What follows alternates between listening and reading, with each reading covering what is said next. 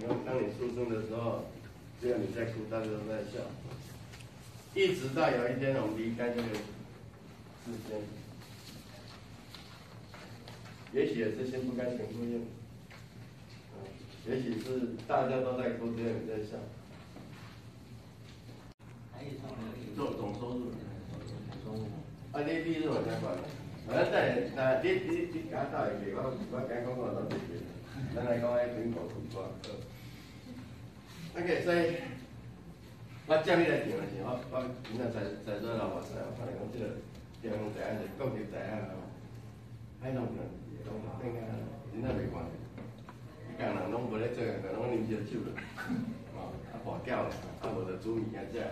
然后大家学了以后，认为有在进一步了解的话呢，他学校都有相关的一系列的课程哦，各位可以再继续参与这个受训。如果是具有农民身份的呢，仍然是可以，他然后再去读书的话，仍然是可以补助，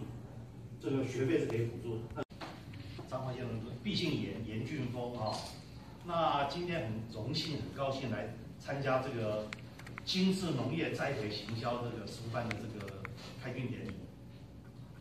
我必须要跟各位报告哦，就是说这个班是其实是我个人一直希望能够开的，因为我来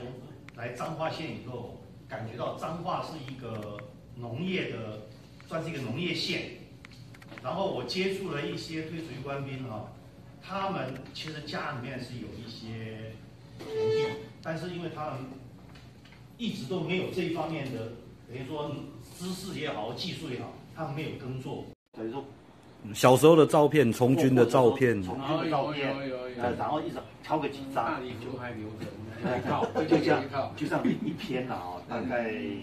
拿一些范本给那个。好，我我我我寄给副校长。呃，待遇高的，哎，不容易。所以我想说，他们与在好比说是他们可以把这个当做副业。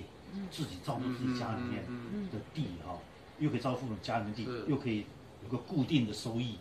因为光靠这个他可能不稳，有个固定的收益。其实我当初是有在